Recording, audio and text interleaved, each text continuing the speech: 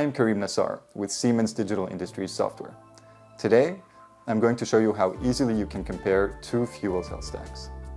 In the context of vehicle electrification, fuel cell vehicles are an alternative to battery-powered electrical vehicles. They produce electricity from hydrogen stored in a tank and the ambient air using a fuel cell stack. Simcenter Amesim features a semi-empirical model which allows you to simulate their behavior. Starting from an experimental curve of cell potential, you can easily represent the dynamics of the fuel cell stack in terms of electrical current generation, hydrogen consumption, and heat release. Let's start with a complete model of a fuel cell electrical vehicle. This model includes the fuel cell stack, the hydrogen tank, the air supply and its compressor, and the cooling system. The fuel cell stack provides electrical power to the battery and electric motor, which in turn drives the vehicle. Here, we are simulating a complete WLTC cycle, and we can show the results such as vehicle speed and electrical motor torque, but also electricity produced by the stack and the hydrogen consumed.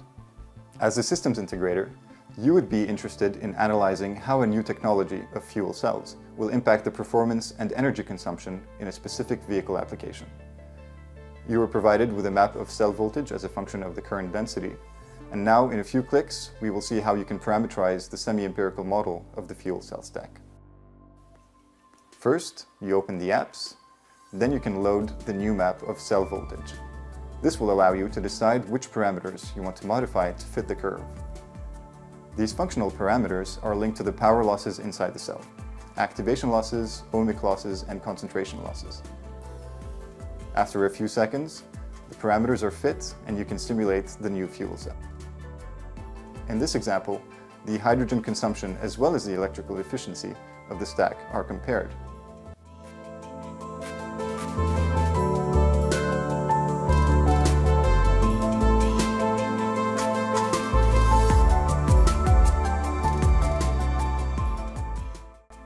To sum up, we have shown how, in a few clicks, you can compare two fuel cell stacks in a complete vehicle environment, starting from a functional map by using Simcenter Amesim.